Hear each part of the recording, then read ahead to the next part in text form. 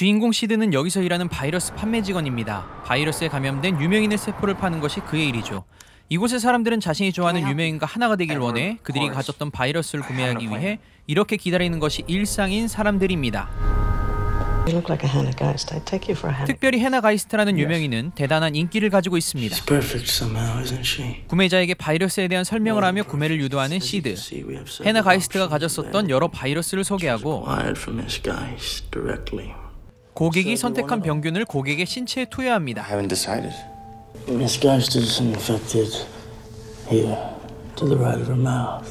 물건을 팔기 위해 이빨을 잘 까는 것 같지만 시드 역시 헤나의 팬입니다.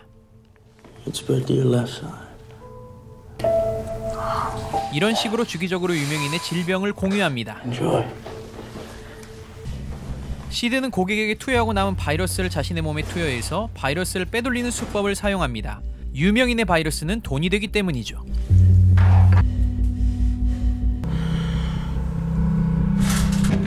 그리고 집에 돌아와서는 회사에서 빼돌린 기계로 자신 몸속에 바이러스가 담긴 피를 추출해 밀거래를 합니다.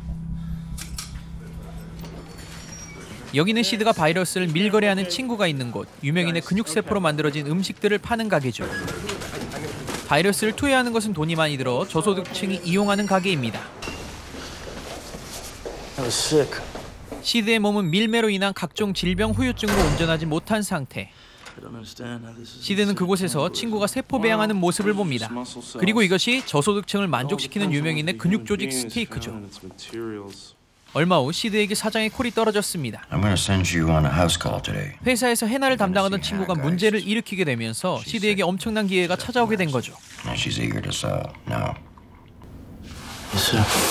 최고 유명인 해나를 만날 수 있는 기회로군요. 어마어마한 기회를 잡게 된 시드. Lucas Clinic.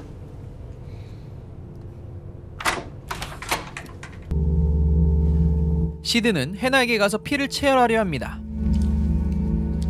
그동안 동경하고 사모했던 아름다운 해나를 앞에 두고 잠시 생각한 후 체열을 시작하죠.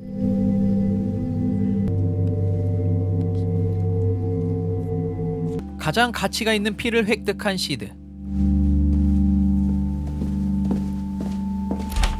이 기회를 놓칠 리 없는 시드는 해나의 바이러스를 밀거래하기 위해서 당연히 자신의 몸에도 투여하게 됩니다.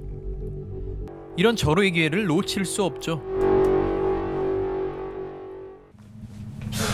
하지만 이번 해나의 바이러스는 정신을 못 차릴 정도로 강했습니다. 여러 바이러스의 매개가 되었던 시드조차 감당 못할 정도였으니까요. 가까스로 정신을 추스리고 기계로 가서 자신의 피를 보관하는 시드.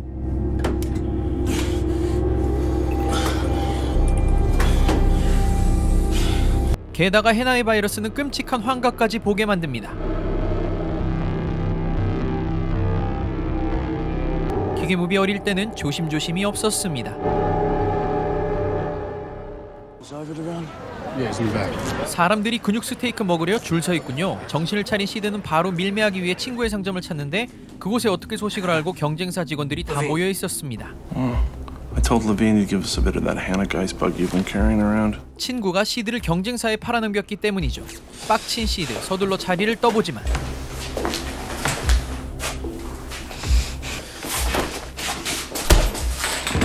내동댕이 쳐집니다. I hope you're not taking this too personally. 시드는 잡혀서 많은 양의 피를 뽑히게 되고 I was a little insulted when I found out you weren't going to share with me. When we're to shop it around. You just want this one all yourself? 피뿐만 아니라 생살, 피부 발진 조직 또한 뜯겨지게 되죠. Now, I would love to do this properly. You would just stop freaking out. 시드는 실험용 쥐로 전락했군요.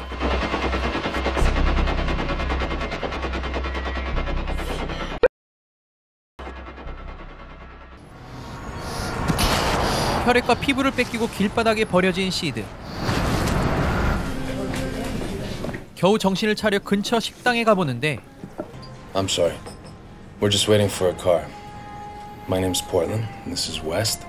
We're taking you to meet someone. 또 다른 두 남자가 접근해 시드를 어디론가 데려가려 합니다. Are you planning on being difficult about it? 시드는 옴짝달싹 못하는 상태. 유명인의 바이러스가 들어있는 시드의 몸을 찾는 이들이 많습니다. Don't look so worried. You're a commodity.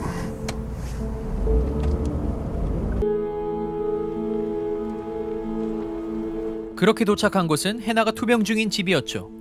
해나 또한 시드와 같이 불치병에 걸려 대책을 찾는 중입니다. I've been told that Hannah's illness can produce florid hallucinations.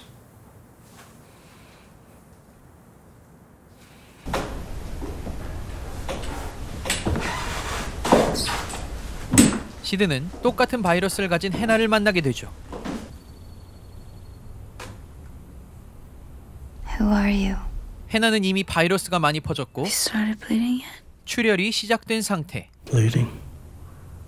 and we still don't have a cure. This is all very unlucky for you, but I'm hoping we can help each other. 여기 사람들은 시드의 몸을 테스트해서 해나의 병을 고쳐볼 생각입니다. I can't move.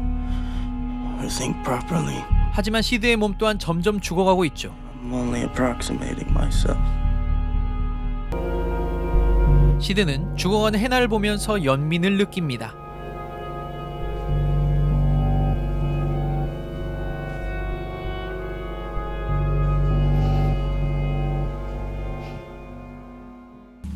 물건을 가져가려고 집을 방문하는데 누군가 들어가는 적이 보이는군요.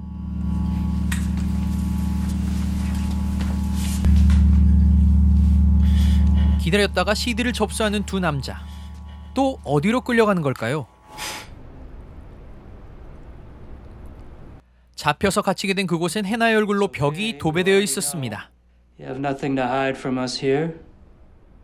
This is an honest room. You can share any thoughts or feelings you might be having. In fact, you are encouraged to share. 납치한 사람들은 해나와 같은 바이러스를 가지고 있는 시드에 죽어가는 과정을 실시간으로 녹화하고 기록해서 상품으로 만들어 팔 생각입니다. 주기적으로 피를 뽑고 상품의 상태를 확인하죠. 한편 해나의 말대로 출혈이 심해지고 있는 시드. 피를 토하고 정신이 이상해지기 시작합니다. 정신 착란 증세를 보이는 시드. 점점 증세가 심해지는군요. 하지만 그렇게 죽어가는 시드 앞에서? 인간의 존엄성 따윈 개강아지나 줘버려라는 표정. 바로 또 피를 뽑아버립니다. 빡친 시드는 기회를 노리다가. 주사를 입에 꽂아버리죠. 그리고 가까스로 그곳으로부터 탈출하게 되는데 사실 이 모든 일은 루카스 클리닉의 경쟁사가 벌인 일이었습니다. 루카스 클리닉의 주고객인 해나를 불치병 바이러스에 감염되게 해서 죽게 만들고 시장을 독점하려 했던 거죠. 그 경쟁사에 가서 자신의 치료약을 위해 목숨을 걸고 딜을 하는 시드.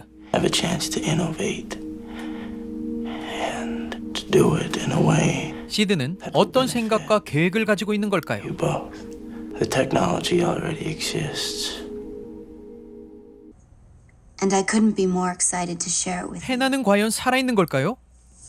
Welcome, everyone, to my afterlife. 시드는 친구의 세포 배양 기술을 해나에게 적용시켜서 심장만 뛰고 있는 해나의 몸을 기계 속에 넣고 생명을 영원히 유지시킵니다. She's perfect somehow, isn't she? 그리고 그녀의 몸에 각종 바이러스를 넣고 배양 후 판매하고 자신이 좋아하는 해나까지 영원히 얻게 되죠. 해나의 몸은 살아있다 할 수 있겠지만 이미 죽었다고 봐도 무방한 상태. 영원히 해나는 이 기계 안에서 바이러스를 위한 숙주로 살아있게 됩니다. 참 기괴한 영화입니다. 비위가 좋지 않거나 첨단 공포증이 있는 분들은 원본 영화 시청을 삼가주시길 바랍니다. 이 영화는 너무 유명한 영화 감독인 데이비드 크로넨버그 감독의 아들 브랜든 크로넨버그의 작품입니다. 아버지의 영향을 받아 그로테스크한 색깔도 어느 정도 가지면서 세련된 멋진 영상미로 더 진보한 모습을 보여주는 신예 감독이죠. 앞으로의 작품이 기대되는 분입니다. 오늘의 영화 어떠셨나요? 인간성이나 도덕성의 선을 한참 넘어선 오늘의 영화. 인간의 욕망의 끝은 어디까지일까 생각하게 만드는 이 영화. 항생제였습니다. 기무 리뷰. 다음 리뷰에서 뵙겠습니다.